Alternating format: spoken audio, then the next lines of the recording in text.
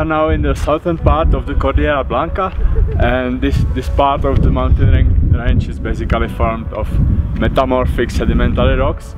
And, and at this particular place we are in a former lake basin which has been sedimented and now it's filled by some kind of peat plant.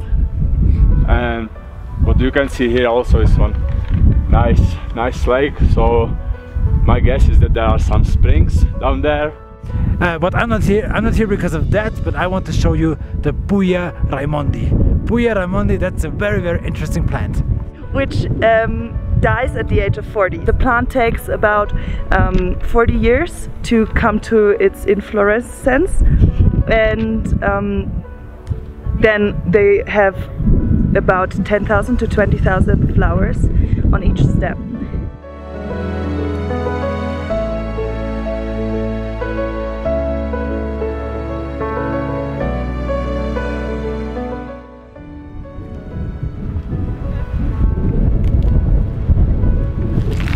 Uh, I guess maybe this one was destroyed artificially by people because this seem, seems to be burned.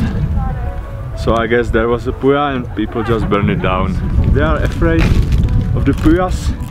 Oh, Puya Raymond is eating my kids and my sheep.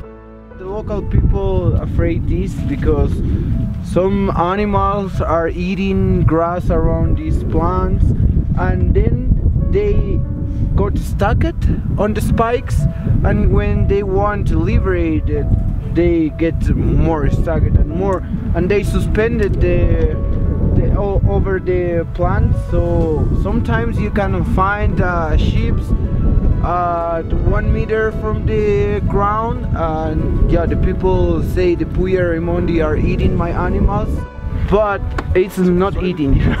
It's not eating Let's go to the glacier!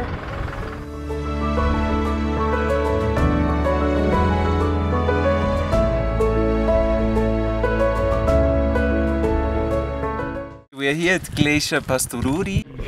Why are we here? Well, this is a really interesting glacier. We can see an extremely rapid um, retreat of the glacier and where we are standing right now, a few years ago it was full of ice. So you can see the huge effects of climate change here.